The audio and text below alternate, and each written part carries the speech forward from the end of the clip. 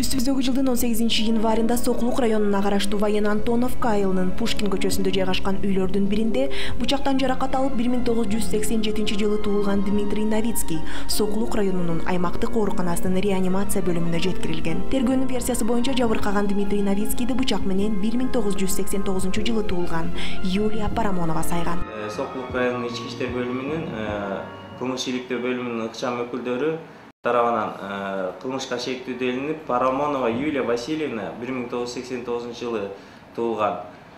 Э, адам кармалып э, ал азыркы күндө күнөөсүн толугу менен мойнуна алды.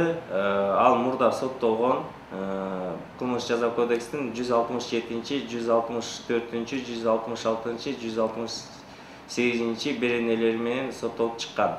Как сидели вот мы в компании в одной я со своим сожителем жарандык никедеги жолдошум виталий экөөбүз жабыркаган новицкийдин үйүндө досторубуз менен конок отурганбыз ал воен антоновкада жашайт бир кезде анын коңшусу биздин жакшы таанышыбыз руслан шакиев өргөсүнө чакырып калды ошентип олтурушубуз ал жакта да улантылды. Алкоголдук ичимдиктерди ичип акыры баарыбыз мас болуп калыптырбыз бир убакта эркектер кайым айтышып кетишти да үчөөлөп менин жолдошумду сабап киришти мен жалгыз ажыратканга алым келмек беле тегерегимди карасам көзүм столдун үстүндөгү бычакка урунду аны алдым да мага жакын турган бирөөсүн урдум көрсө ал новицкий экен канды көрүп кыйкырып жибергенимде баардыгы эсине келе түштү. Жолдошум виталий экөөбүз кетип калдык. Калгандары тез жардам милиция чакырып жатышкан. Бул окуя таң атып калганда болгон. Эртең менен мени милиция кызматкерлери кармап кетишти. Потом когда вас задержали? Сразу на следующий день.